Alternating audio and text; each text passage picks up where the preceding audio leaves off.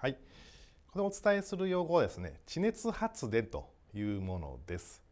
これはあのこう写真のあります通り、まあ、温泉とか日本って火山大国なので温泉とかねこう熱い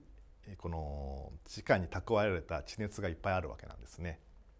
でこの地熱発電というものでこうエネルギーを発電していくっていうものが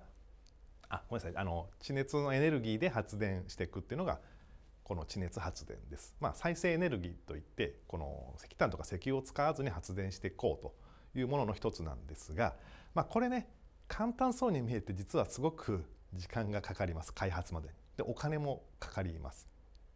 ですので、まあ、意外とこの温泉とかこの火山がいっぱいあるからすぐできるんじゃないかと、